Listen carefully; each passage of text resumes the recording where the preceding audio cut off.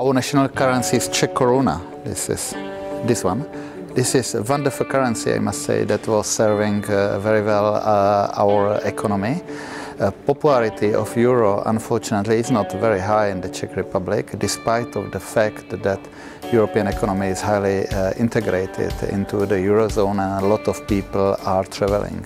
So I don't think that there is any kind of mistrust to euro, but people are just happy with Czech koruna. I believe that euro will be a good choice for the Czech economy because country is very well ready. Our economy is very strongly integrated with the economies of uh, the eurozone and our country, firms and people are used to low interest rates. So change of euro will, uh, will not have a lot of uh, risk factors while the benefits for the, for the economy, for firms and citizens will be strong. It will make easier for the firms to compete on the, on the European market and for the citizens it will probably bring more competition on the market and reduce the transaction cost, for example, when traveling to European countries.